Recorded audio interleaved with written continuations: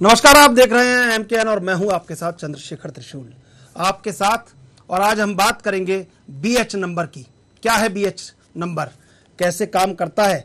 इससे क्या बदलाव आएगा? किन किन लोगों को ये सुविधा मिलेगी? और क्या है इसे अप्लाई करने की पूरी प्रोसेस इन सभी मुद्दों पर हम चर्चा करेंगे। तो चलिए, शुरुआत करते हैं। रिपोर्ट देखते हैं।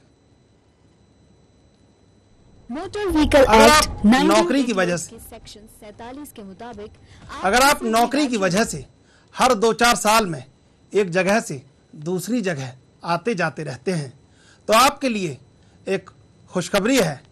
अब आपको किसी भी राज्य में जाने पर अपनी गाड़ी का दोबारा रजिस्ट्रेशन नहीं करवाना पड़ेगा। दरअसल सरकार नई व्हीकल रजिस्ट्रेशन पॉलिसी लॉन्च करने जा रही है जिसमें आपके वाहन को नई सीरीज़ का नंबर मिलेगा और यही नंबर पूरे देश में काम करेगा। यानी आप अपने वाहन को दूसरे राज्य में ले जाएँगे तो आपको वाहन का दोबारा रजिस्ट्रेशन नहीं कराना होगा। बता दें कि ये योजना 15 सितंबर के आसपास शुरू होने वाली है। मोटर व्हीकल एक्ट 1988 के सेक्शन सैतालीस के मुताबिक आप किसी भी राज्य में एक साल तक दूसरे राज्य के वाहन को चला सकते हैं। एक साल के अंदर आपको अपने वाहन को रजिस्टर्ड कराना होता है। इसके लिए पुराने आरटीओ से एनओसी लाना ज़रूरी होता है। हर राज्य में ये प्रोसेस अलग अलग है और डॉक्यूमेंट भी अलग अलग लगते हैं। इस वजह से लोग दूसरे राज्य में अपने वाहन का दोबारा रजिस्ट्रेशन कराने से कतराते हैं। वाहन नंबर से पता चलता है कि वे किस राज्य में रजिस्टर्ड है। लेकिन अब सरकार ने राज्यों के नाम के बजाय पूरे भारत के लिए बी एच सीरीज़ प्रस्तावित की है। इससे पूरे देश में बी एच सीरीज़ के नंबर मिल सकेंगे। यानी किसी राज्य के बजाय नंबर प्लेट पर बी एच से नंबर की शुरुआत होगी। ये तो अच्छी बात है, पूरे इंडिया में अगर एक ही नंबर होगा और सारी तो ये अलग अलग स्टेट का वो खत्म हो जाएगा नंबर और सारा कुछ अच्छा रहेगा। एक ही डेजिकेशन हो जाएगी। मतलब वो एक ही सिस्टम हो जाएगा कि एक ही नंबर है और मतलब अलग अलग नंबर से वो देखना नहीं पड़ेगा। सर अच्छी रहनी चाहिए क्योंकि अभी दूसरे स्टेट्स में जाते हैं तो नंबर्स में प्रॉब्लम आती है। दूसरे स्टेट की गाड़ियों को वहाँ के पुलिस वाले रोकते हैं।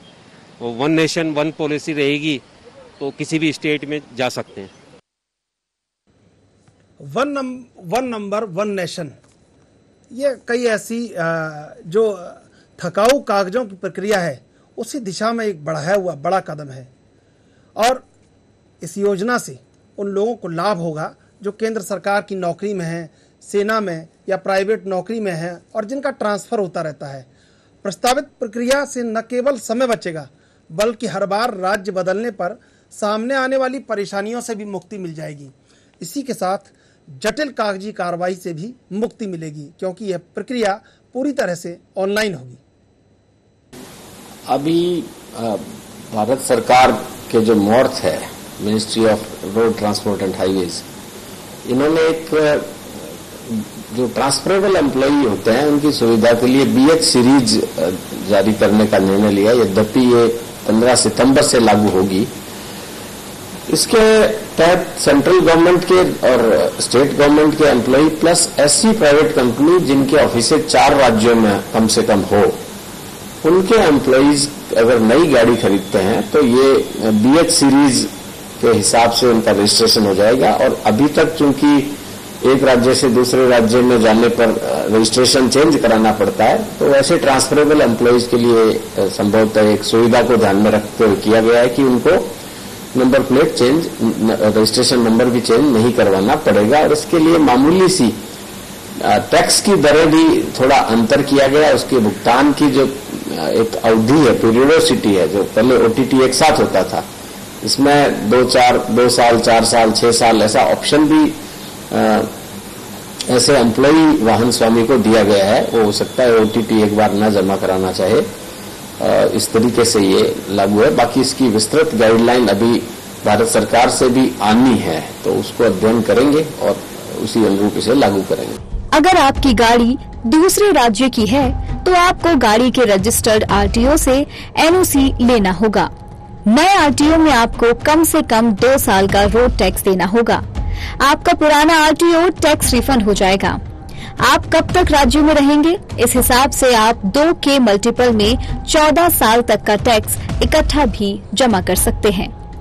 अब आप बी एच सीरीज़ के लिए अप्लाई कर सकते हैं।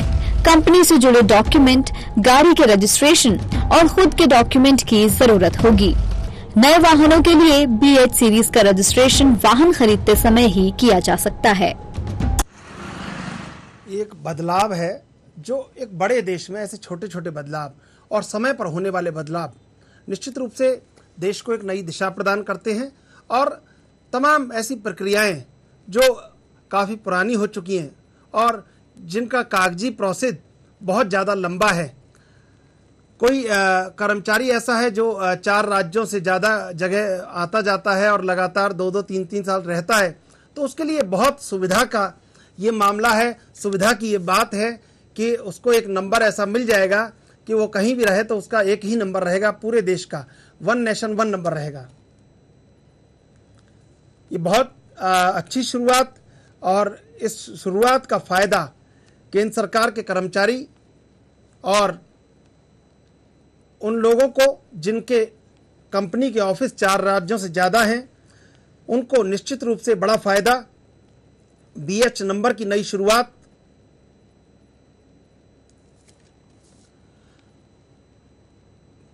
यूनिफाई, एक जो सिस्टम है पूरा उसको यूनिफाई करना होगा कि कैसे सारी चीज़ों को, अब कोई राज्य कहीं एक व्यक्ति है और वो किसी राज्य में दो साल रहता है, उसके बाद दूसरे राज्य में रहता है तो जब भी उसको दूसरे राज्य में प्रवेश करना है या उसको अपनी गाड़ी को वहाँ रखना है तो फिर से वही पुरानी प्रक्रिया के रजिस्ट्रेशन को चेंज करवाना, दोबारा आरटीओ के चक्कर लगाना, एक लंबा प्रोसेस।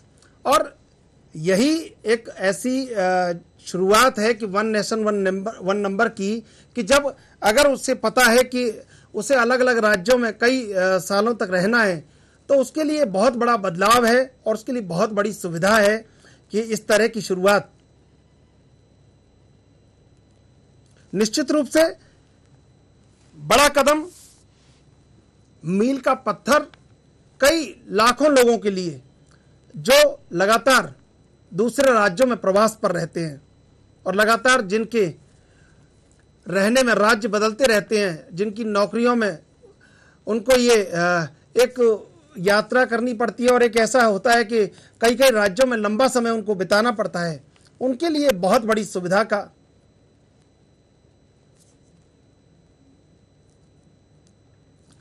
और इस समय हमारे साथ हमारे मेहमान जुड़ चुके हैं प्रदीप पाराशर जी। प्रदीप पाराशर जी नमस्कार। स्वागत है आपका एम के एन पर। हेलो। प्रदीप पाराशर जी स्वागत है आपका एम पर। सर आपकी आवाज़ बहुत स्लो आ रही है।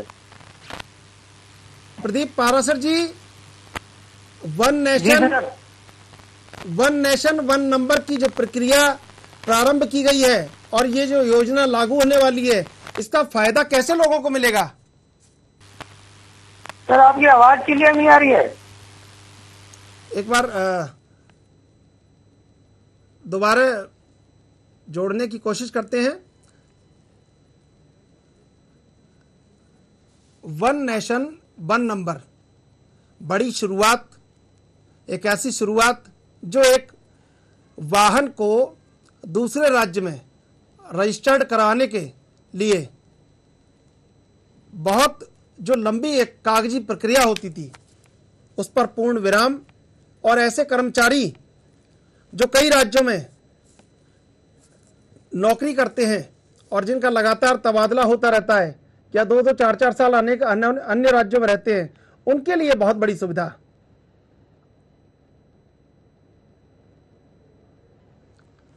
निश्चित रूप से देश में वन नेशन, वन नंबर की तैयारी, एक मील का पत्थर सफ़र जो होता है, वो सफ़र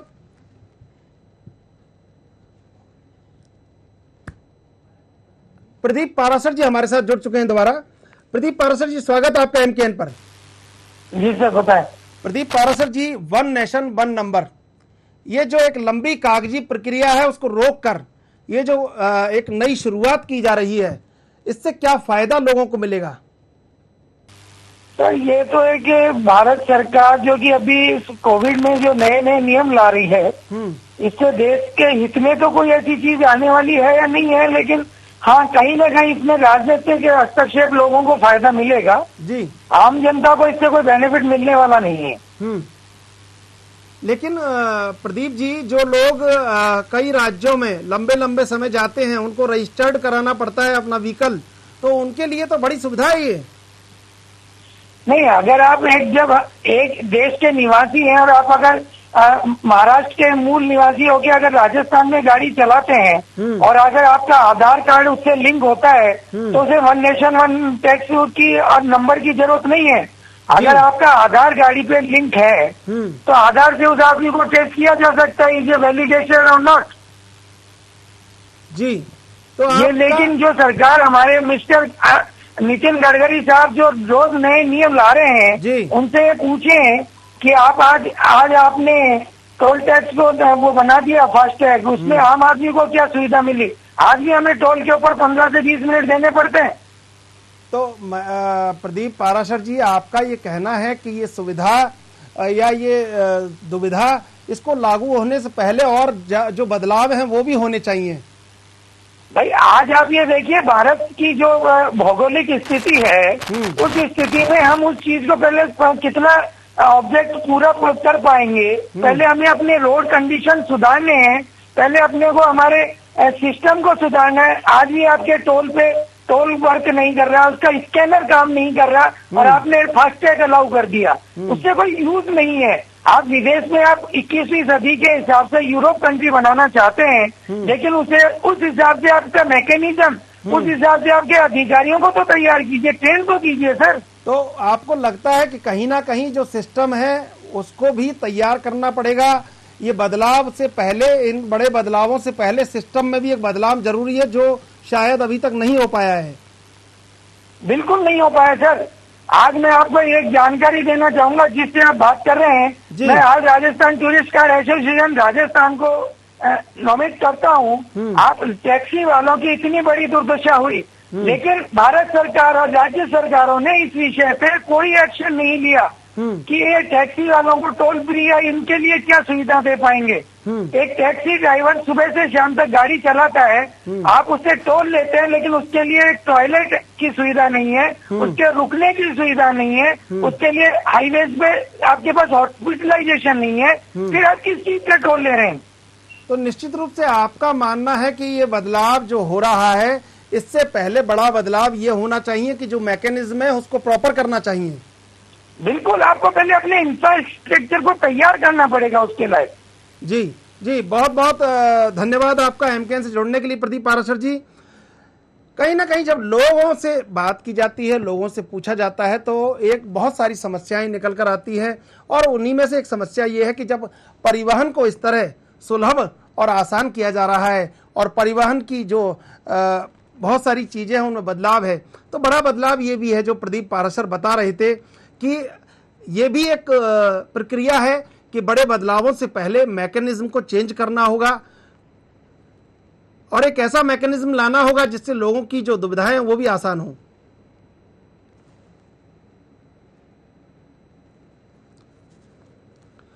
और इस समय हमारे साथ हमारे मेहमान जुड़ चुके हैं, हुसैन खान। बीजेपी अल्पसंख्यक प्रकोष्ठ के राष्ट्रीय उपाध्यक्ष हैं। स्वागत है आपका एमकेएन पर। हुसैन खान जी, स्वागत है आपका एमकेएन पर। आप मेरी आवाज़ को सुन पा रहे हैं?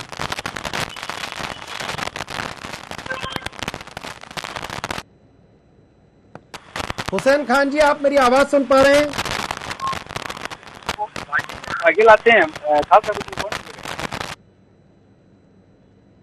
जी, निश्चित रूप से कहीं ना कहीं एक जो बात निकल कर आती है वो ये है कि नए नियम आ रहे हैं, नया मैकेनिज्म आ रहा है, लेकिन जो नियम लागू किए जा रहे हैं, उसमें पूरी तरह, उससे पहले एक जो व्यवस्था है जमीनी स्तर पर, उसमें बड़े बदलाव की ज़रूरत है। और जमीनी स्तर पर कई बार योजनाओं के लागू होने के बाद या योजनाओं के जारी होने के बाद उनकी जमीनी हकीकत कुछ और होती है और उससे आम नागरिक को रूबरू होना पड़ता है। तो कहीं ना कहीं आम नागरिक को जब आप सुविधाएँ जारी कर रहे हैं, जब आप योजनाएँ लागू कर रहे हैं तो एक हुसैन खान राष्ट्रीय उपाध्यक्ष हमारे मेहमान हमारे साथ जुड़ चुके हैं। हुसैन खान जी, स्वागत आपका एमकेएन पर। हुसैन खान जी, आप मेरी आवाज़ को सुन पा रहे हैं? उनसे हमारा संपर्क नहीं हो पा रहा है। नेटवर्क के कारण निश्चित रूप से जो एक नई योजना लागू की जा रही है और उस योजना का जो उद्देश्य है केंद्र सरकार का और उद्देश्य यही कि कैसे जो एक सफ़र है सड़क का, वो आसान हो और उसमें जो एक लंबी कागज़ी प्रक्रिया है, उसको कैसे कम किया जाए। और शायद यही एक छोटे छोटे ऐसे कदम हैं जिनसे जोड़ा जा सकता है। हुसैन खान हमारे साथ हैं। हुसैन खान जी, स्वागत है आपका। हुसैन खान जी, आप मेरी आवाज़ सुन पा रहे हैं?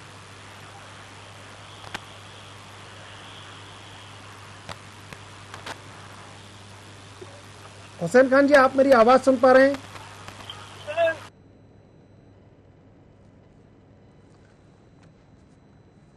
ये एक ऐसी योजना कि जब आप अनेक कई राज्यों में यात्रा करते हैं और लंबे लंबे समय तक उन राज्यों में प्रवास करते हैं, तब आपको एक सुविधा, एक ऐसी योजना जिसके माध्यम से लंबी कागज़ी प्रक्रिया से हटकर आपको एक नंबर मिलेगा और उस number one nation, one number पर आप अपने वाहन को रजिस्टर्ड कराकर और अपनी जो यात्रा है, जब आप अनेक राज्यों में रहने वाले हैं, उसको आसान कर सकते हैं और वन नेशन, वन नंबर का फ़ायदा उठा सकते हैं। हुसैन खान जी, ये जो योजना है, वन नंबर, वन नेशन, इसका फ़ायदा लोगों को कैसे मिलेगा? हुसैन खान जी? अब मैं तो बीच में छोड़ के वहाँ यहाँ आया वो है वो चल रहा है हुसैन खान जी आप आवाज़ सुन पा रहे हैं?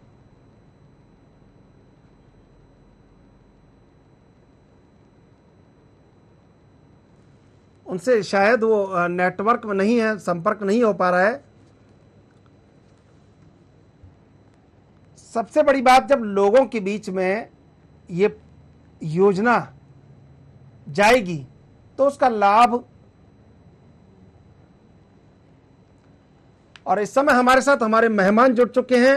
डॉक्टर वरुण पुरोहित कानून विशेषज्ञ वरुण पुरोहित जी स्वागत आपका एम पर। जी।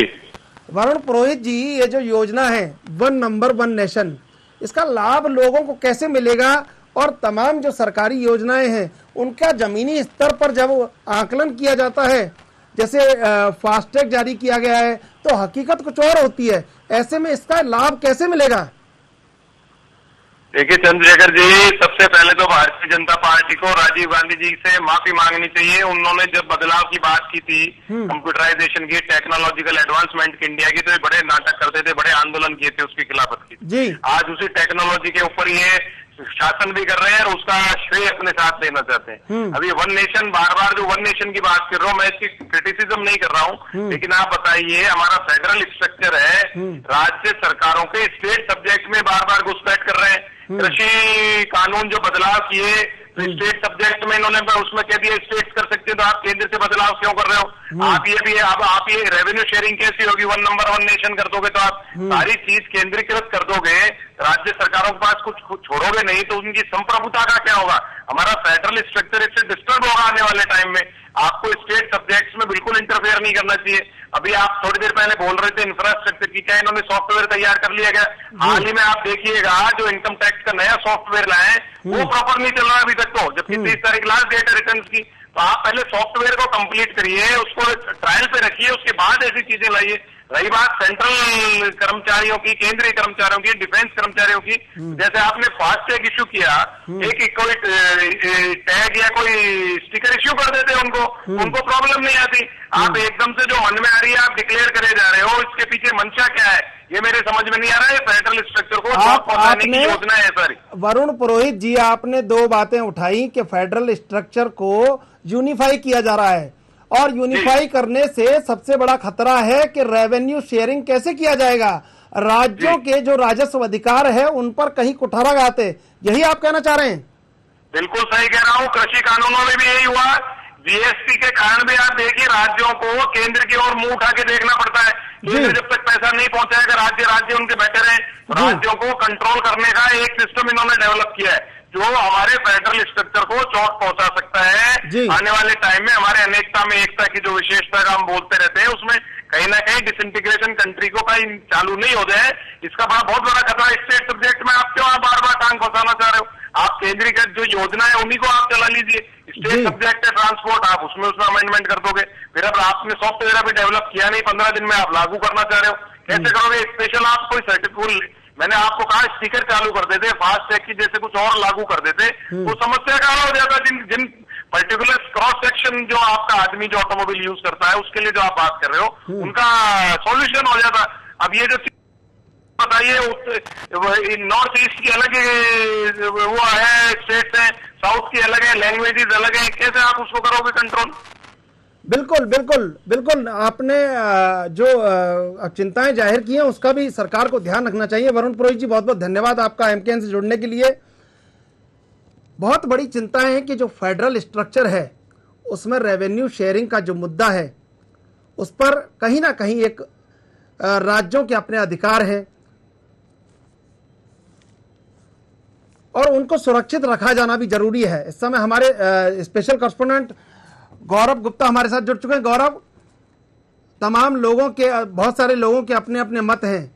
आप जब स्टोरी पूरी कर रहे थे और जब लोगों से आपने बात की, कई अधिकारियों से बात की तो उनका क्या मत है जो निकलकर सामने आता है, जो उन्होंने आपको बताया? देखिए तुषार जी मैं बताना चाहूँगा कि यहाँ पे जो लोग हैं जो लोगों में देखा गया जिनसे बात की गई तो उनको वन नेशन वन नंबर की पॉलिसी पसंद आ रही है अधिकतर लोगों को।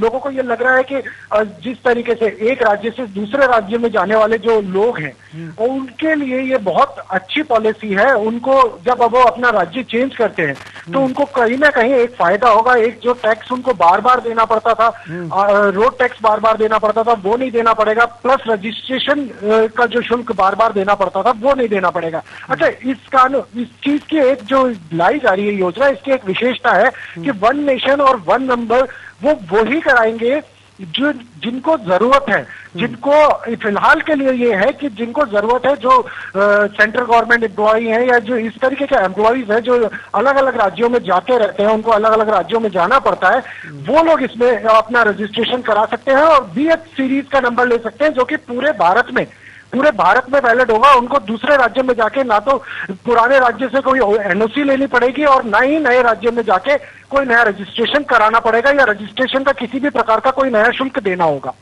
तो पूरी तरीके से प्रक्रिया 15 सितंबर से जारी हो जाएगी, लागू हो जाएगी और शायद लोग इसका 15 सितंबर से जो नई गाड़ियाँ जो लोग लेने वाले हैं, वो इसका लाभ ले सकेंगे। गौरव, आप मेरी आवाज़ सुन पा रहे हैं? सर, हाँ सर गौरव जो 15 सितंबर से योजना लागू हो रही है तो जो नई गाड़ियाँ जो लोग लेने वाले हैं और जो केंद्रीय कर्मचारी हैं या जो लोग कई राज्यों में प्रवास पर रहते हैं वो इस योजना का लाभ उठा पाएँगे? जी हाँ बिल्कुल। देखिए ये योजना के लागू होते ही जो नई गाड़ियाँ ले रहे हैं वो इसका तुरंत लाभ उठा सकेंगे। उनको अपने कंपनी से जो अगर एक राज्य से दूसरे राज्य जिनको जाना पड़ता है, जिनका तबादले होते रहते हैं, वो अपनी कंपनी से या अपने संबंधित विभाग से एक डॉक्यूमेंट लेंगे और उसके थ्रू रजिस्ट्रेशन कराएँगे और वो इस सीरीज़ का फ़ायदा उठा सकते हैं बीएच नंबर का फ़ायदा उठा सकते हैं और अपनी गाड़ी पे बीएच सीरीज़ लेकर के एक राज्य से दूसरे राज्य में जाते समय उनको कोई भी परेशानी नहीं आने वाली है। किसी भी तरीके का कोई टैक्स नहीं देना होगा, मैं पहले ही बता चुका हूँ। ना ही किसी तरीके का कोई नया रजिस्ट्रेशन कराने की ज़रूरत पड़ेगी। बिल्कुल गौरव बहुत बहुत धन्यवाद हमारे साथ जुड़ने के लिए। जो अ, तमाम तरह की परेशानियाँ हैं जो अ, सुविधाएँ हैं और जो योजनाएँ हैं वो लगातार जारी वो लगातार जारी की जा रही हैं। लेकिन सबसे बड़ा जो एक सच है वो ये भी है कि इन योजनाओं को लागू किए जाने से पहले उनकी ज़मीनी हकीकत का एक बार आकलन करना भी सरकार की ज़िम्मेदारी है। और ये ज़िम्मेदारी पूरी हो तो शायद जो योजनाएँ लागू की जाती हैं, उनका लाभ पूरी तरह लोगों को मिल पाए। ताज़ा तरीन खबरों के लिए आप देखते रहिए एम के एन